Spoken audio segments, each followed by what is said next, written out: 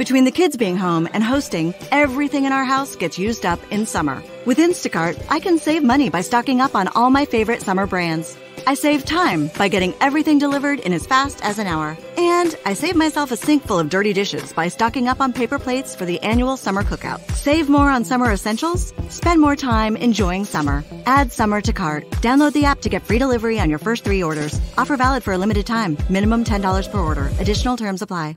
When you're ready to pop the question, the last thing you want to do is second guess the ring. At Bluenile.com, you can design a one of a kind ring with the ease and convenience of shopping online. Choose your diamond and setting. When you find the one, you'll get it delivered right to your door. Go to Bluenile.com and use promo code SPOTIFY to get $50 off your purchase of $500 or more. That's code SPOTIFY at Bluenile.com for $50 off your purchase. Bluenile.com code SPOTIFY.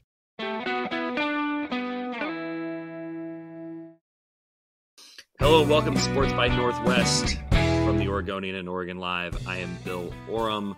Sports by Northwest, supported by the BitNile.com Grand Prix of Portland, coming September 1st, 2nd, and 3rd to Portland International Raceway. Really big things going down in the world of sports here in Oregon, in the Northwest, specifically Oregon and Washington off to the Big Ten. Oregon State and Washington State still without clarity. To break that down, I'm joined this week by Nick Daschel, the Oregon State beat writer for the Oregonian and Oregon Live. Nick, how's it going down there? It's just going great, Bill. Nick, I, have got to one, I've got to wonder just off the bat, how are Beaver fans handling the news of the last week with the rival Ducks uh, getting a lifeline from the Big Ten as the Pac-12 crumbles, and and the Beavers really kind of waiting, waiting to see what what what's next for them. Well, as you might expect, not well. Um, you know, there's there there's a good portion of them that think the Ducks pulled a fast one on them, and I can't blame them. Really, it's you know, or, Oregon State is you know a little bit dependent on on Oregon when it comes to the Pac-12 these days.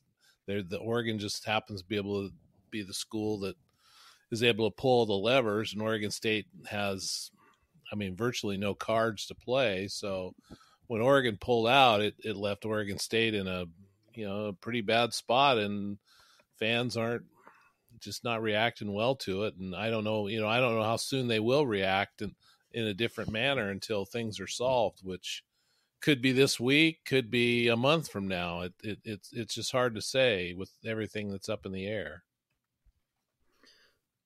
Nick, I mean, this is something I think that when people started doomsday scenario scenarioing the Pac-12 and its demise potentially when USC and UCLA left, I think this is something a lot of people sort of anticipated. If the Big Ten continued to poach from the Pac-12, Oregon and Washington were likely targets, and for all the reasons you kind of outlined, you know, Oregon State was not likely to get an invitation to the Big Ten along with Oregon.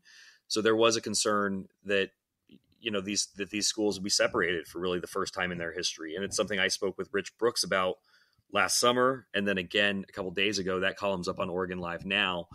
But do you do you, when you look at the available options for oregon state and we don't necessarily know what all the options are or where those stand but you know over the last four days or so we're, we're talking on monday you know this all went down on friday. You've heard reports that the Big 12 could expand again. Uh, reports that the um, Mountain West uh, and the Pac 12 could merge, that the Pac 12 might want to cobble together some version of a conference built around Oregon State, Washington State, and Stanford and Cal. Um, that Oregon State and Washington State could end up in the American. Um, as you look at kind of that litany of possibilities, is there one that seems most plausible to you? And are there any you just throw out? You just throw out and say that's not realistic.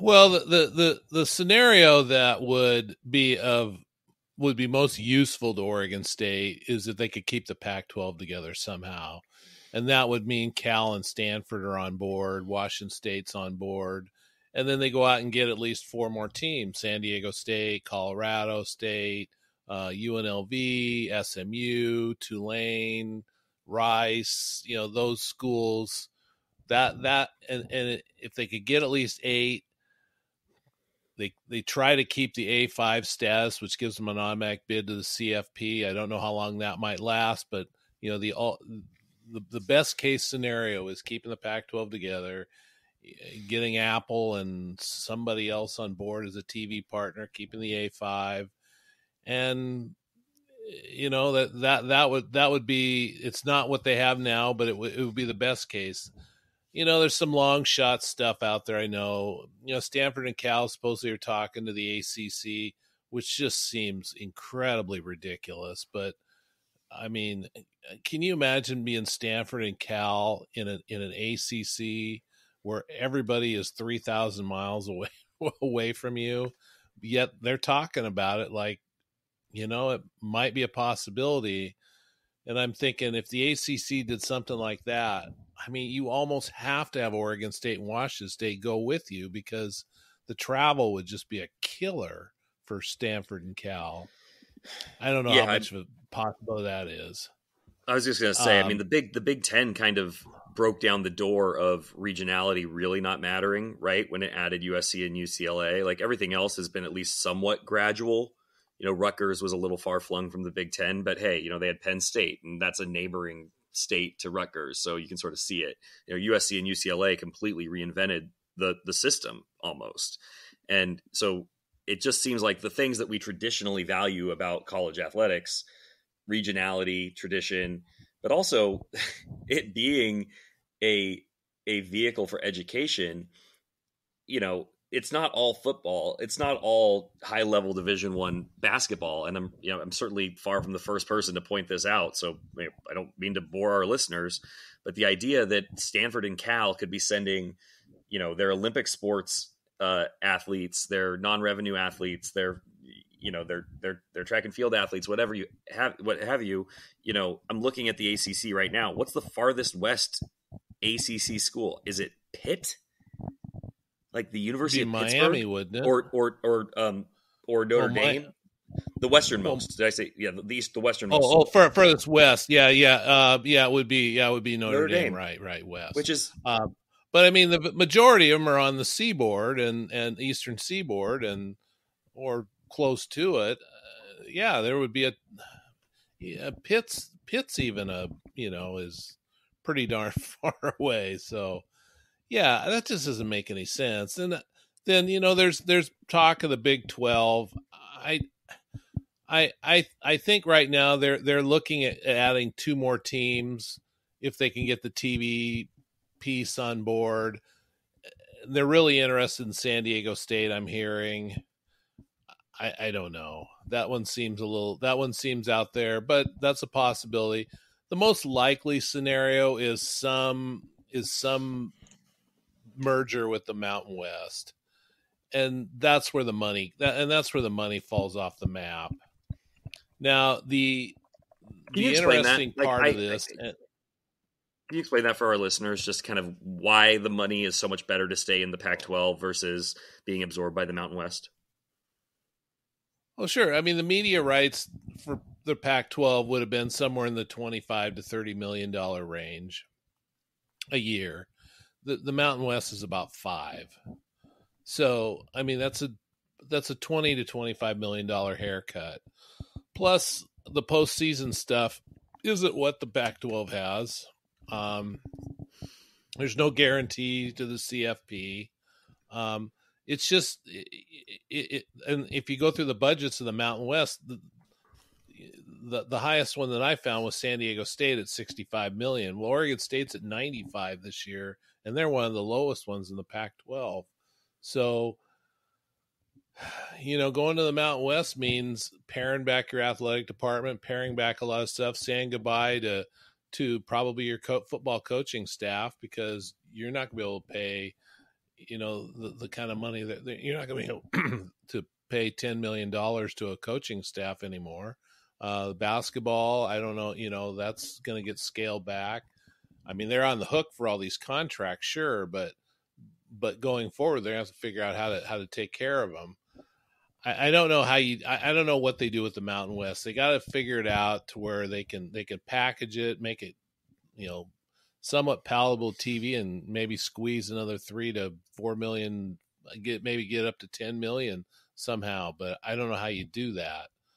Um, yeah, I mean, I just think there's so much stuff out there that we just haven't even heard. I, I mean, don't you think the the these schools that are going to the Big Ten, Oregon, Washington, they're they're I gotta believe they're at their Olympic sport athletes are just gonna are just gonna be outraged about about the travel and all that stuff. If football of all the sports, football is the least affected by the travel. Right. There's just it's it's not it's it's easy for football. The rest of them, it's a I mean, let's face it, it's a pain in the ass. It's just gonna be it's gonna be hard. It's going to be hard. You're flying commercial. You're subject to the whims of you know the United Airlines uh, flight schedule. You are um, I, I just I, I, I agree with you. I think it's it's one of the many ways in which college sports have lost their way, where the the athlete experience outside of football and to a lesser degree basketball is the student athlete experience is is not a, it's not a consideration at all. And especially when you're these are the athletes who are not getting the same slice of NIL that you know the, their football counterparts are. You know, yes, there's right. scholarship money and and you know those are athletes who you know are in college for the education, but it, it, the, the, I mean the I mean the the tail wagging the dog here is is uh, pretty pretty significant. Yeah, and so again, Oregon State's got a lot to figure out, and there's still some options out. But I guess what I was going to I, I forgot what I was going to get to is if Stanford and Cal happen to leave, Oregon State and Washington State would actually be in control of the Pac 12 at that point, which means they're in control of the media rights pot of money, the postseason stuff. And I, they don't get all of it, but they can. But but there's a possibility they can claim some significant damages that the the departing teams have have you know have wounded them, and they can and they can claim and they can get a, a sizable pot of that, a slice of that four hundred twenty million dollars that's coming right. this year between media rights and and basketball uh, postseason revenue and other and other postseason revenues. Um, now uh, it'll get litigated for sure, but Oregon State, but but they but but they but there's a possibility they're going to get a bunch of money out of this at some point. It's funny to hear you say, uh, you know, get the Pac-12 to stick together when you know eight teams have departed so far. But what you mean is the institution of the Pac-12, right? The the the, the body of the Pac-12. The teams are gone, the schools are gone, but the institution can still exist, and it could theoretically rebuild around Oregon State and Washington State.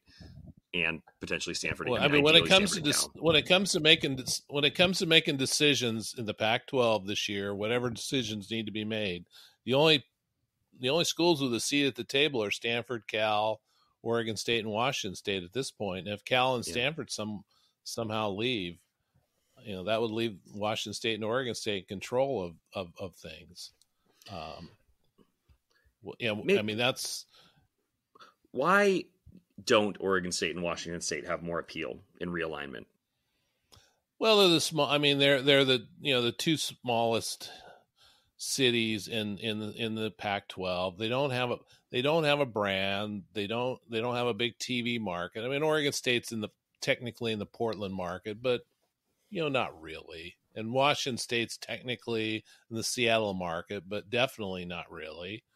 Um, you know, they just don't have they don't have history and brand and and you know they don't have Oregon's cool. They don't have you know the Bay Area's eyeballs. They don't have Arizona's basketball program. You know, Arizona State's, you know, big, big market. Utah's got, eh, you know, a, a decent sized TV market. Plus they got a, a, football program that's, that's, that's been rolling for quite a while. And, yeah, I mean, it's just they they're not very attractive, and they and their TV numbers have kind of proven that over the years you mentioned the, the, the coaching staff situation, and Jonathan Smith makes you know I think north of six million dollars or close to it.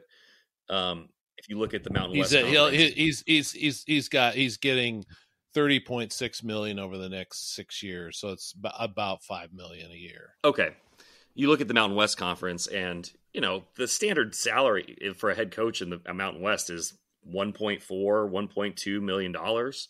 Um, I, I just, I guess, I just don't even really quite understand what happens in that scenario. If Oregon State goes in and all of a sudden the coaching salaries are taking up you know 20 25% of the of an athletic budget or a little bit less than that but you know 15 to 20% how do you even run the rest of the department if Jonathan Smith's salary is you know was obviously negotiated under a different budget and a different expected revenue how do you how do you resolve that well, the my guess is Jonathan would probably leave, and they would and they would be off the hook for that money. I mean, at some point, you know, if things got to that situation when they went to the Mountain West, they started losing players. He started losing coaches. Couldn't get the right coaches he wanted. I'm, I'm guessing he would probably leave. He, you know, if they have another big season this year, he's going to be in huge demand. Um, so he could easily move to another job and gets paid as much as he's making or more. So, and that's, I mean, it's sad. I mean, they built this program up to be like this, and and then you know, out of nowhere, this comes, and it's by no fault of Oregon State's. You know, they what they've built could just get toppled. Um, but I mean, it's not over yet. I mean, I don't I don't want to leave Oregon State fans this idea that you know they're doomed. There's still there's still some stuff out there that that could get worked out, but but I don't know. I would say it's probably I don't know third and third and goal from the 15 maybe i don't know Oof. something like that i don't know I mean, it's not, it's not, it's, it's not impossible. It's not third, it's not fourth and goal from the 30. It's, but it's not, it's not, they're, they're not, they're not sitting at their second goal from the five in this situation. They're, you know, they, they, they, they need some stuff. They need, they need some luck. They'll need some luck somewhere along the way. You know, uh, Nick, one thing that, um, I you know I keep coming back to, and uh, you know I think a lot of people are, is the future of the dynamic between Oregon State and Oregon. And we heard Dan Lanning and Rob Mullens say last week that they absolutely want to keep playing Oregon State. Dan Dan Lanning said wants to play Oregon State home and home into perpetuity. Uh, there's some logistical hurdles there, but just as a principle, what do you think the appetite at Oregon State for continuing to play Oregon is going to be? Well, once the emotions, you know, cool off a little bit, I think I, I think you got to try to play Oregon in most of the sports.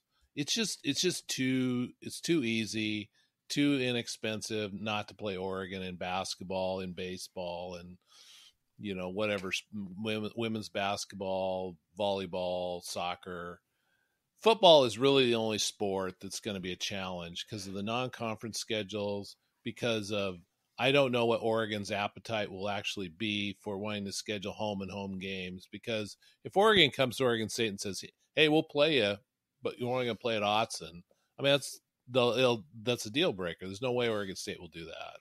They just won't unless they're so desperate for money, and Oregon paid them, you know, two and a half, three million dollars or something like that to play. Um, the, the football one's going to be difficult, but I think all the other sports they got to try because it's it's mm-hmm. just too lucrative and too inexpensive to to put on a game like that in most of the other sports. But I, I think the fans will eventually get over the fact that you know Oregon is in the Big Ten and Oregon State is is in the Northwest community college league or whatever. I don't know. I'm just kidding, but whatever, whatever league that they're in, I, I think they'll eventually get over that. But I mean, there is the other, there is the other thing about, you know, the fans are all concerned that, you know, Oregon's got this gigantic budget and Oregon State will have this much smaller budget. How do you compete? I think that shows up in football, but I'm not sure it's, I'm not sure it will be a huge factor in all the other sports in you know uh, uh, in in a game in a one game situation. Yeah, I am with you, Nick, and I you know, I just am pretty cynical about the future and skeptical, I guess, about the future of Oregon and Oregon State in football.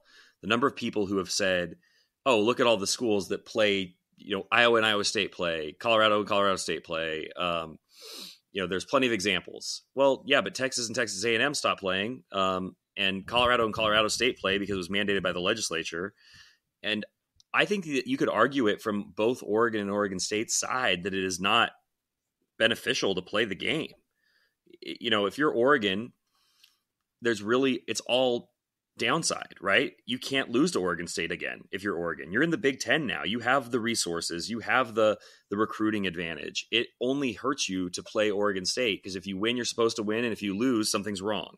And if you're Oregon right. State, you know, if you're Oregon State, you're still a Division 1 team trying to find your way to, you know, a prominent place at the end of the season. Um and I don't know that you want to sign up to play a Big Ten team every single year on your non conference schedule and for it to be the same Big Ten team every single year.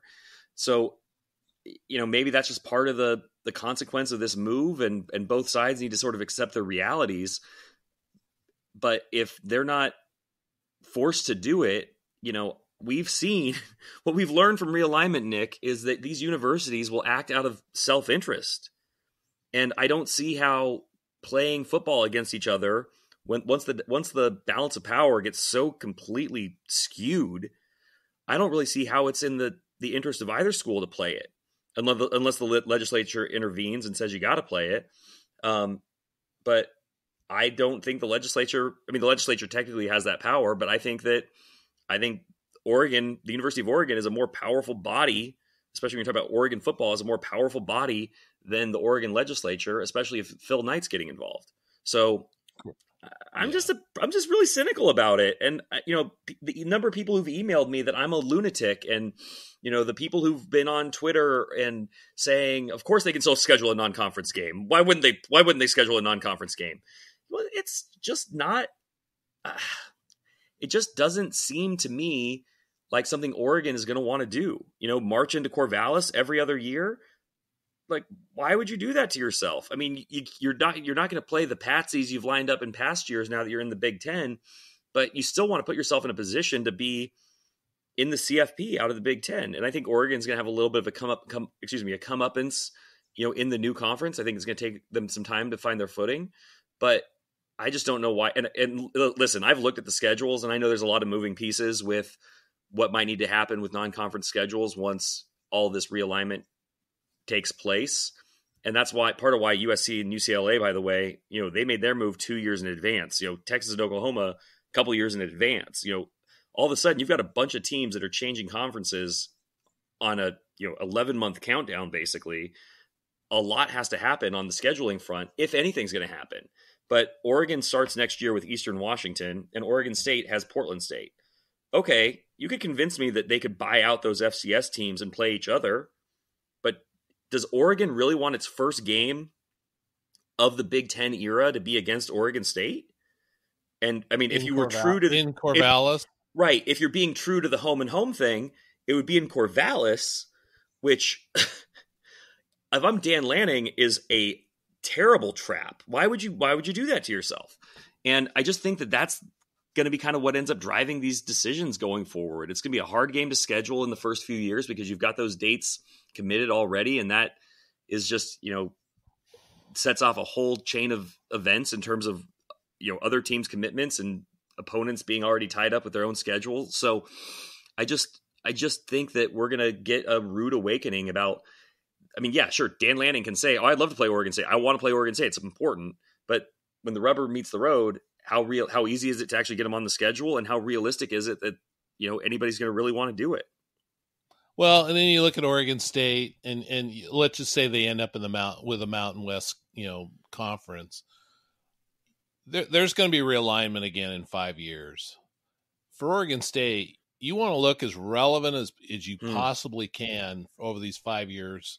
So, just in case there's an opening to get into one of these Power Five, re, you know, rejoin one of these Power Four or Five conferences, you know, you you might do that. So the best way to do that is n- not lose non-conference games. So mm-hmm. you don't mm-hmm. really want to schedule more than one, you know, difficult non-conference game, and they've already got a bunch of those scheduled. So sure, they have Oklahoma State you know, coming Oregon up. They State's, have Oregon State's Yep. only path really to getting back into a Power Five if they don't get into one this time is to keep winning 10, 11 games. So they look like, well, we're we're a little bit bigger than the Mountain West. You know, we're bigger. We're we're a bigger deal than the Mountain West, and you know, you ought to bring us on and things like that. You know, if they get back to being six and six, I mean, they're they're they're going to be so irrelevant, nobody's going to look at them again. So I don't know. I'm. I mean, I'm obviously we're both just speculating all this stuff because there's just so much stuff that right. is going to happen here. That, but Nick, the, the Yahoo Sports had a column from the great Dan Wetzel uh, over the weekend or on Friday, maybe. Um, Dan Wetzel is one of the great, great American sports columnists, and his takeaway from you know Freaky Friday of realignment was that everybody in the country who is sick of realignment and and, and tired of seeing the bottom line um, be the bottom line should rally behind the Oregon State Beavers. That they are the face of what is wrong with college football from from the from the flip side because they've been so badly wronged by by this. So you should really be rooting for Oregon State to win the whole the whole freaking thing. Um, just from a Pac-12 standpoint, this is the last year of the conference. USC, UCLA um, are leaving. You know, kind of kicked this off, but is is it realistic? Is this a Beavers team that you think could could uh, deliver that for Dan Wetzel and those who are are embracing the spirit that he has put out there? well, we've been kicking that around for months, and and yeah, I mean, could they get could they get the CFP? Absolutely, they could. I mean, the odds are they're not because only four teams get there, and there's a lot of you know there's a lot of roads to travel before you get there. But the schedule is is doable. The the the offense looks like it's going to be better. The, you know, I guess you can trust in Trent Bray putting the defense back together that was the best in the Pac-12. You know, they have a few missing pieces that they got to figure out. But, you know, the schedule sets up well and they don't play USC and they play all their tough most of their tough games at home except for Oregon. If you just go through the schedule, I mean, I, I've said this before. You go through the schedule, I think they're going to be favored in their first ten games. If if you know if if they win, you know if they win, as weeks go by, if they keep winning, they're going to be keep being favored till they get to Washington. And who's to say they won't be favored in that game? Um, because Washington will be coming off a just a horrible stretch where they got to play SC and Utah back to back before they play Oregon State. Well, I mean, likelihood they're not going to sweep those two. So, I, I mean, Oregon State might be favored in every game this year except the Oregon game, and then you know let's see what happens with Oregon. But yeah, I mean, they'll have to be twelve and zero to get to get to a. They'll have to be thirteen and zero to get to a CFP. But it's not impossible. It could happen. It just it, it, they're going to need a lot of breaks It would everything be, but it sets uh, it sets up for it at least. There's a possibility. It, yeah I- it you're does- not you're not saying you- you're not you're not saying well they could be 12 and 0 if they win at utah if they win at usc you know if they they don't have to do that this year. They they don't have they don't have to play those teams uh, on the road. And they don't have to play usc at all so um, potentially until the Pac-12 championship. right game. until the Uh, pac 12 yeah, championship which I mean, we've already booked our tickets to that one, haven't we, Nick? Sure, yeah, and, and you know Oregon State in Vegas is is money. You know they're one they're they're they're one and zero in in Vegas. So no, I, I'm, I mean, I'm trying to remember. I'm trying to remember what the um the they've, there's something like they've won or they've covered at home their last 12 game, home games or something like that, or for two straight years they've covered against the spread at Reser Stadium, um, which is Um, I don't recall. I don't recall what the. I know they're. I mean, eleven and one straight up, but I don't. I can't recall what they are. Um, um, against Well, the spread, it- it- I get the only loss was USC and they covered the spread in that game. So right. it's just uh, speaking of Reser. Well, I, I, I want to. Okay, so I, I have two things. I want to hear what the the what you've seen of the new um, of the new stadium expansion because if, if Beaver fans are listening, there's going to be a lot of excitement about that. Certainly a bittersweet unveiling for the Beavers to have sort of this, you know, this sort of an announcement of their, you know, basically putting a big time college football stadium together finally after all these years, only to be potentially knocked out of big time college football. Uh, but how has that looked uh, from from from what you've seen? And have have you been inside all the? Well, unfor- un- un- unfortunately, if we were to do this this podcast tomorrow tomorrow night, I will I will have seen everything because there's they're doing a a media tour research on Tuesday after practice, so I will have seen everything. Now I have not been inside the stadium in quite a while because they they are not letting anybody in there pretty much right now they're starting to now, but they, they hadn't for a while. Um, but I mean, it looks pretty nice, and I, I'm I'm curious to see what Beaver Street looks like, what the luxury, um, the premium seats look like, what well, what the press box looks like. Um, they keep telling me you're going to pick out your seat in the press box. Well, you, you really think I give that choice? Um, yeah i mean it's gonna be it's it's gonna be sweet. I mean it's i, I want to see all i, I want to see what the concessions you know all all the different concessions they're gonna have there. Those are all supposed to be nice with the you know the they're getting breweries involved and some you know a lot of local restaurants and things like that.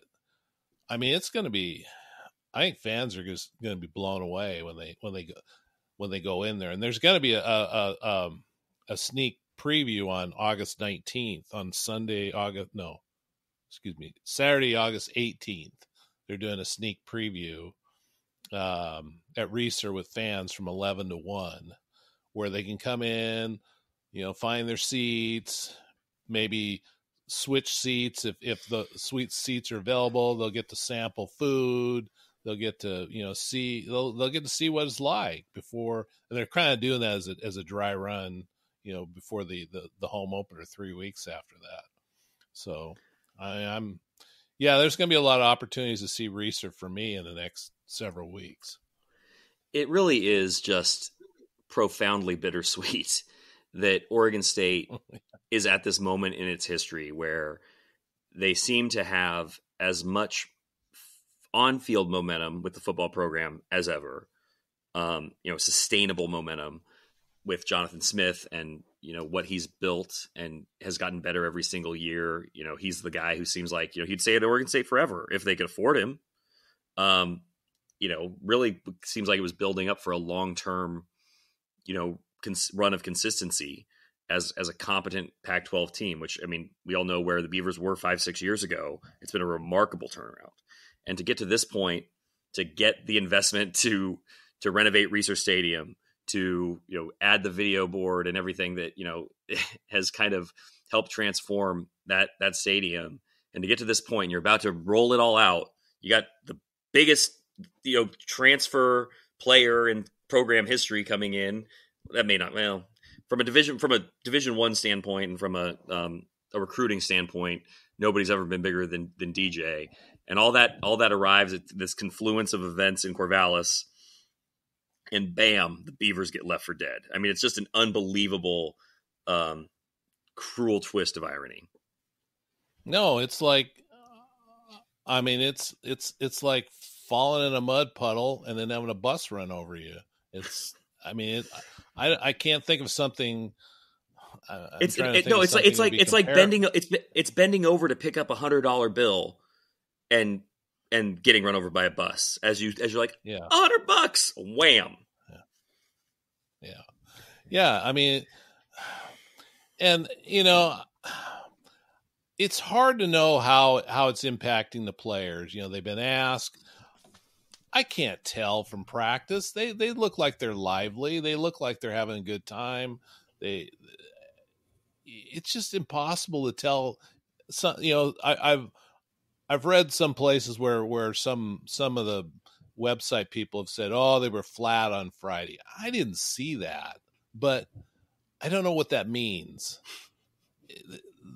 It's just hard to know, but surely it's got to affect them to some degree, and maybe they can block that out for three months. And if you get off to a good start, I mean, that's the key. If they can get off a good start, none of this is going to matter. this is going to be the well, I better not use that term, but you know the something the world tour. Um, you know, if they get duck, off to a good duck, start. duck, duck the world. Well, I was thinking of an F word, but uh, yeah. Um, so yeah, Fool the world.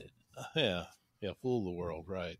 Um, I mean, so what you don't want to do with this team is get off to a bad start because that's when things could really snowball and and and go in the go in the toilet.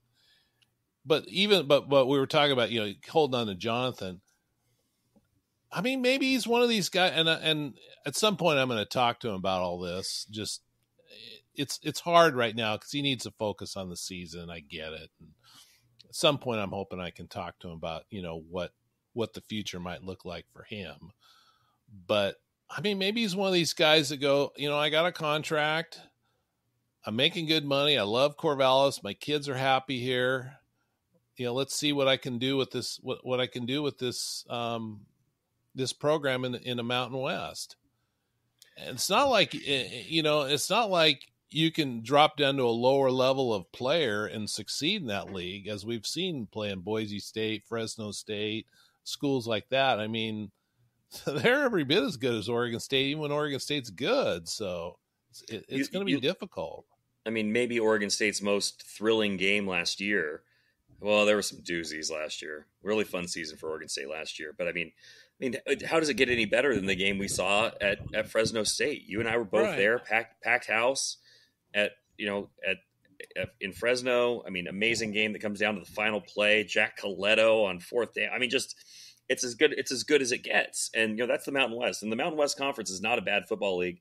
And I will tell you, I actually have I have a, I have a really good friend who is a uh, is a is a, a Beaver alum, and he texted me yesterday, and he I thought he had maybe the healthiest perspective on this I've heard from Beaver fans, which was he said the thing that makes me okay with it is that I've watched football played in minor conferences and it wasn't any less fun.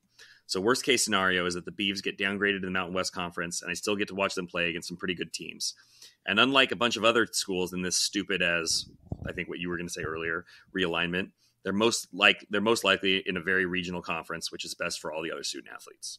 I think all that's true, but I think what's lost is sort of the you know the the the the doorstep to potential greatness. It's going to be a lot harder to you know we saw Oregon State make a Fiesta Bowl and finish the season ranked fourth overall. We've seen the Beavers in modern times come oh so close to the Rose Bowl. You know, that is a different stratosphere of college football. And the Beavers showed that it could be done or almost could be done. And but they needed the little bit of a boost that the Pac-12 gave. And I think that it just becomes harder to see them reaching those heights from from uh, like a Mountain West. But you've made the point on Twitter, Nick, and and and I'm going to wrap it up here.